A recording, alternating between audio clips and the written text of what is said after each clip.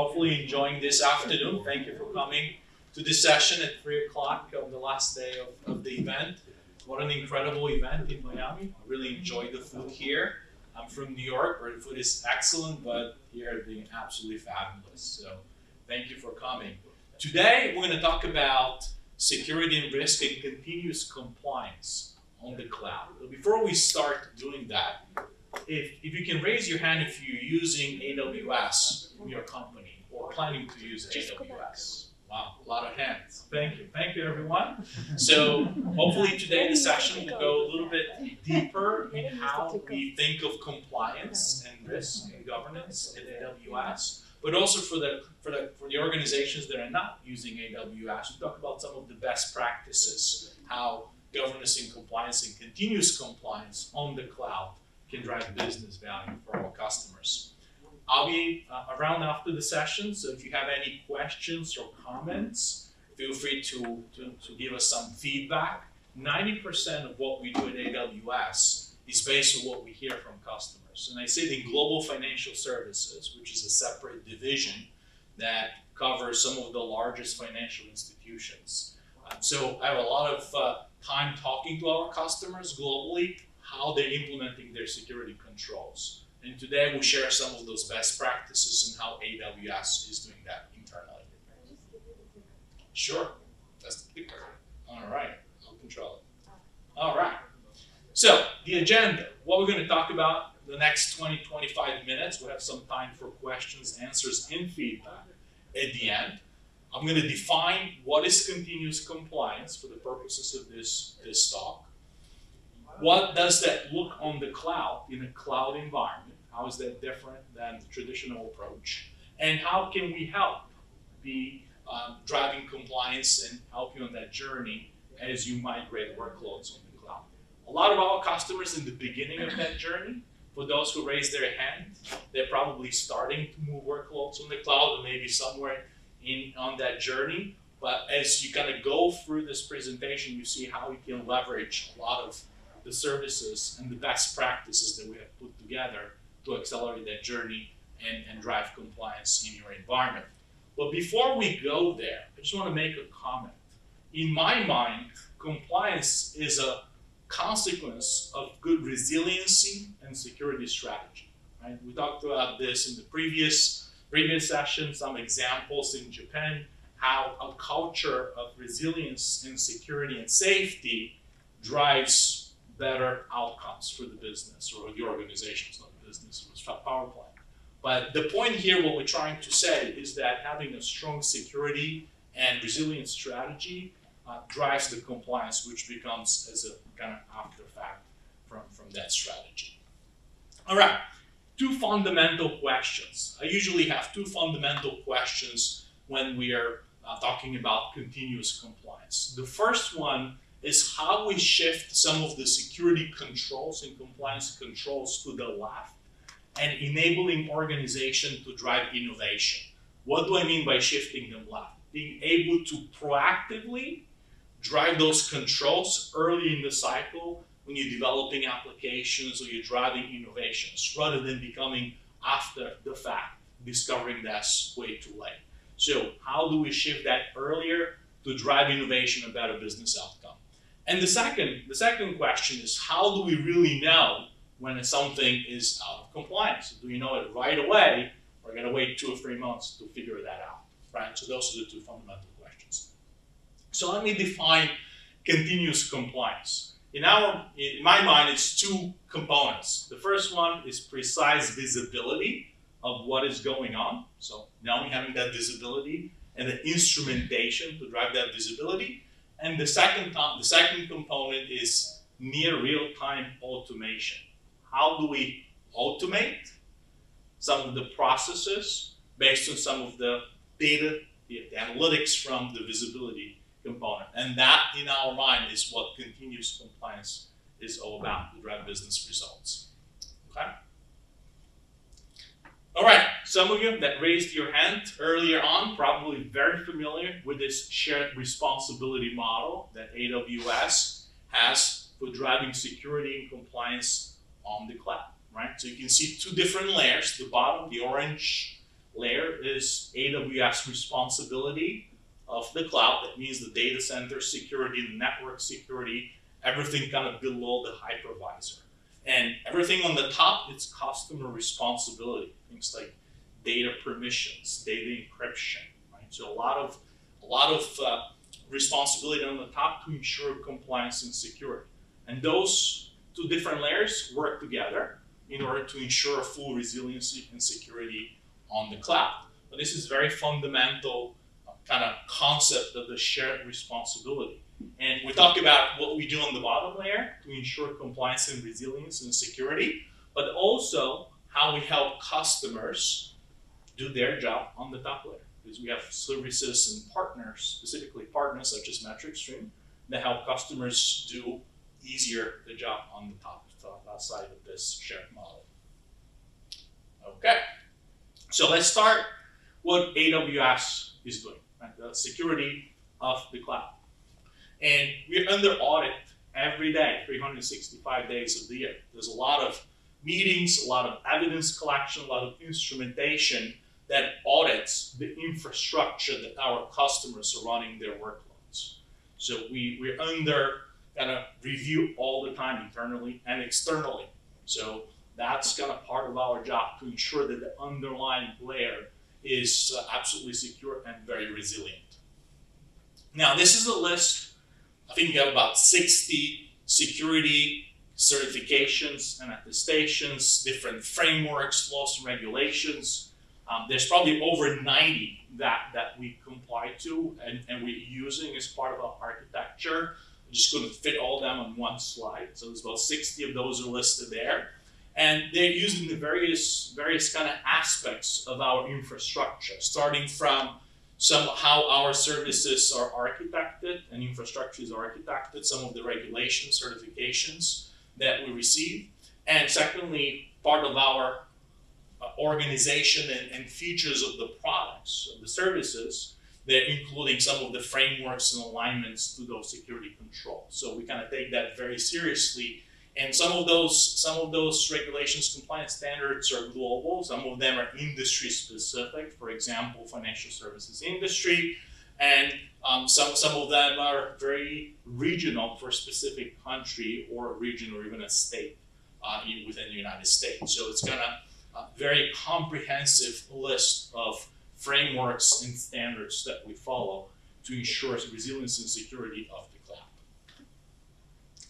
now, let's talk a little bit how we support customers that are running their security and resiliency on the cloud, right? So some of the workloads. This is a, a list of some of the AWS services that are available to our customers. It's obviously a lot more than that. There's over 22 services in security and compliance. I've listed some of the key ones. And the way I think of some of the AWS services that help customers drive security and compliance are in three different buckets. The first one, or line of defense, is helping teams that manage risk, line of business owners that define security controls and, and, and then manage their workloads. The second one is the teams that oversee risk. So those could be the security, compliance uh, teams or uh, different uh, kind of security engineers that oversee the risk. And the third one to the right is the assurance of, uh, of, of the controls that are in place, and that is usually internal audit. And all of those services sometimes can be shared. They're not kind of strictly aligned to each one of line of defense. They're kind of grouped into those, those categories. To the left, starting from the left, managing risk a lot of our customers using AWS config in order to monitor the configuration of their services. More importantly, any changes to those configuration, or those configuration drift. Those use System Manager, AWS System Manager, to automate some of the processes of making changes, doing um, downtime or uh, upgrades and so forth. So kind of automation is part of this. In the middle, we have control tower that automates a lot of the security controls in multi-user environment, very powerful. We talk a little bit some examples of that in the next slide. And we have Security Hub in AWS backup that in many cases can be leveraged by the security and compliance uh, teams to, to implement some of the policies and to the right CloudTrail that provides instrumentation for logging and aggregation of those logs and have uh, a trail of what has happened. Audit Manager to kind of define policies. And then we have AWS Artifact that is a storage of various document compliance and security documents that can be shared and certification that can be shared. And all this is underlined by our AWS well architected uh, architecture framework. So this is kind of the, the framework that we use as best practices and we help customers to combine those components and build their applications. We at AWS are builders by nature. So we like building stuff. That's, that's how AWS was formed. And we provide those building blocks for our customers in order to put them together and have uh, well-designed architecture. All right, so let's talk a little bit more granular about how some of those services can implement preventative controls, also detective controls and proactive controls. We're gonna, recently we added the proactive controls of granular policies that can be uh, defined. And that kind of helps shift that security controls frameworks to the left when we're building applications rather than reacting when something bad happens. Um, starting from the top, preventative controls that are implemented by service control policies. Then we have detective controls that are usually part of the AWS config. So any configuration changes can be detected. And then finally, proactive controls that are implemented as hooks to AWS CloudFormation that can enable developers when they publish an application to prevent certain bad things from happening. So it's going to have that as part of shifting left the development process and the, uh, and the implementation process, implementing those controls. Let's give you a quick example. Kind of running here on time, so this is all good example, very simplified example with S3, our storage service. So one of the very typical control objective is to establish logging and monitoring for any data that is stored on the storage S3. Right? It's very simple control, but you should have logging and monitoring what's going on. Starting from the bottom, detective control as an example, powered by Security Hub, is access logging should be enabled. So they can look at the configuration setting. And if it's not enabled, raise an alert and tell you you don't have that enabled, it's an issue. You should do that, right? So it's detection of, of what could be uh, kind of misconfigured or not configured properly. An example of proactive control that is uh, set up by CloudFormation will require any new bucket that is created in the S3 to have access logging configured. So you cannot create a new bucket without ensuring that feature is turned on. And that's a policy. So we'll proactively ensure that that is in place. And finally, preventative control. If you go and you change that setting, I will flag that as change in the setting. So I'll just disable it and that's a bad thing. And then I can you know, force that through um, service control policy not be able to change that setting right? So now you can see how we can kind of combine all those controls that establish that control objective. And we do detective, proactive, and preventative controls. And some of those can be chained or have dependency. So sometimes it gets a little more complicated. We have all the instrumentation to make sure that it can all link together. Okay. Not sure I we cannot see here, but uh, I'm going to talk about some of, some of the services that can help automate the risk. And there's, there's, there's a couple of services that help with the automation, um, AWS config and um, AWS configuration manager. And that can help with, with automation of workflows and approvals of any type of changes that are required in the environment. So for example, deploying an application or doing upgrades, patches that can help drive the approval workflow and automation. And that's part of the automation uh, story that not only you have to detect what's going on, but automate processes such as upgrades and, and make sure this is all happening continuously. Oh, the, the lights, the fire, fleet issues, hopefully we're okay. What, what type of control is that? Proactive. That's, that's a, pro- uh, that's a proactive control, yeah. Ah, there's no fire. There's no fire yet. Okay. So, and finally, we have CloudTrail, um, and, and an artifact for independent assurance that usually supports the audit team's internal audit team, and that gives the ability to look at historical access control log data and analyze and see it of investigation, a forensic investigation, what has happened, some of the dependencies. Now, I'd like to talk a little bit more about the business partners. We have hundreds of ISVs in security and compliance, over 100,000 business partners overall.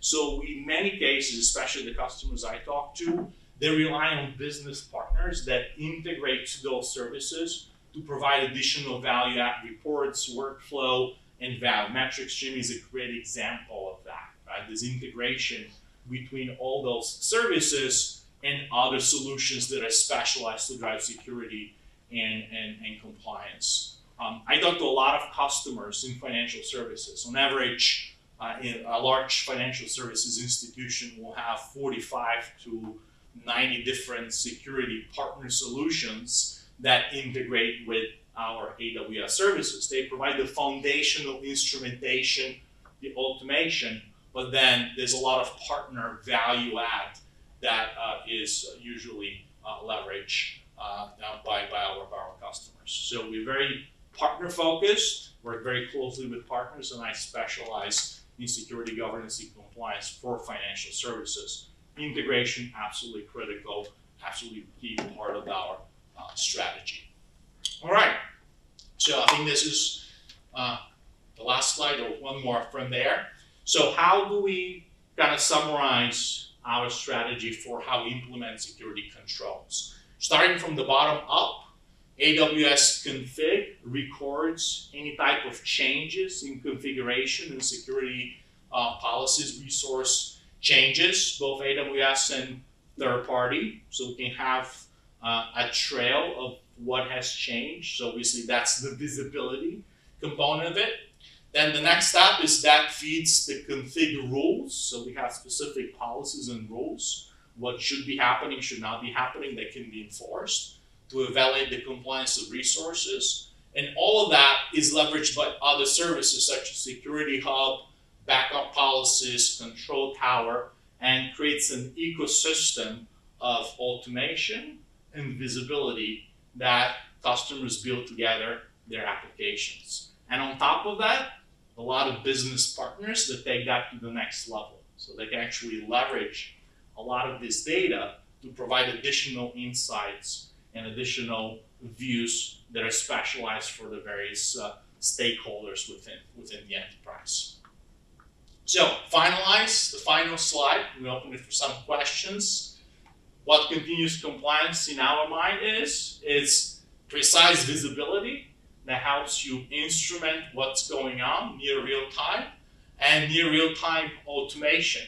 So you don't rely on manual processes and spreadsheets or emails, but automates any events, changes, approvals to speed up and drive innovation. So our customers can build their applications and service their customers uh, better and, and, and, and quicker.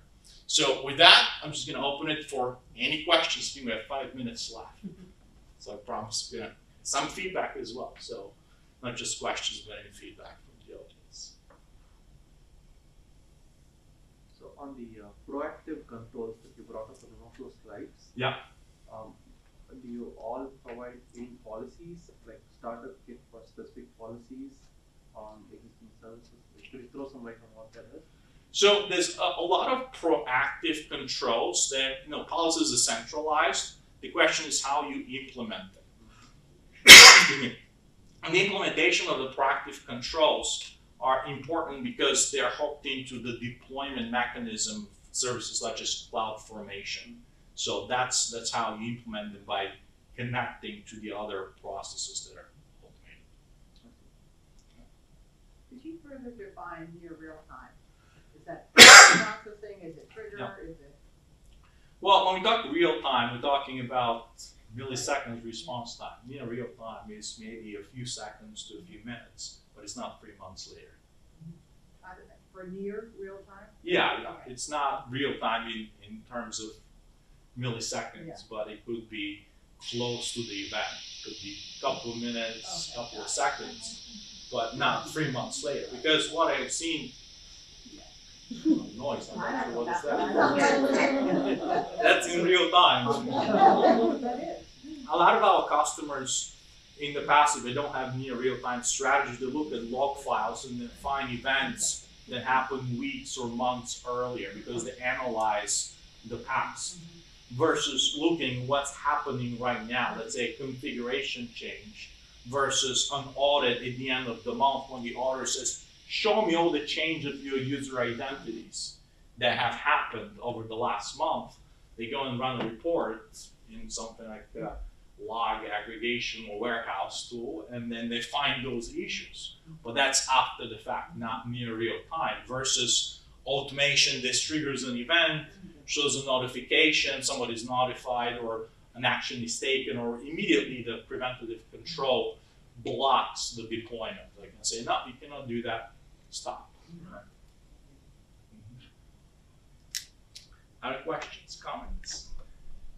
One, one question. Sure. Um, which group or organization are the most consuming this service uh, on your customer side? So it's an interesting question. So what I've seen, it kind of has an evolution of adoption. First, we start with the line of business because they're the one they're building the application and they want to quickly deploy and get all the checks from security and compliance and audit, right? So we see the adoption from the left to the right, starting with the line of business and the owners of the applications. Because obviously they're interested in, in speed. The whole value of the cloud is agility and speed. Cost savings as well, but that's secondary benefit. How quickly can I deploy um, and, and move and service my customers? Number one objective for our customers that deploy on the cloud. And being able to automate, have the proper security controls to do this quickly rather than manually is number one priority. So we see adoption in of business of controls. Then obviously security department, secondary. Now they come in, they have to approve that the controls are implemented the same way they do this previously. And finally, the audit at the end has to automate some of the audit procedures. So that that will be kind of the third step. But a lot of them happens almost simultaneously, and it's an ecosystem. A lot of not just services, but partner solutions. Not just one, but multiple partner solutions. So is your FedRAMP also part of it? FedRAMP? Yeah, so FedRAMP is a framework is is a certification, one of the many certifications that is quite advanced, and it's based on a lot of security controls such as, such as. Um, um, that's in the federal space, obviously, but we're taking some of those and also applying it to financial services. It's not FedRAMP, but it's FedRAMP-like type of attestation, and and we have some very interesting programs. Uh, one is the Audit Ready program that we are putting together for uh, for financial services. So that's part of the overall frameworks. The same way the well-architected framework, FedRAMP certification, uh, and we have a number of those that, that we align to. So if you run any application on AWS, that will be automatically FedRAMP certified? No, no, it's not, right? So it's not automatically, right? So there's attestation for FedRAMP that uh, has to go for a number of security controls, and some of that obviously the infrastructure is, but having the shared responsibility model, there's a lot of security controls on the on the application side that have to be in place, right? So the infrastructure, yes, but the combined application with the, the infrastructure has to be uh, reviewed. Thank you. All right, so thank you very much for your questions and comments.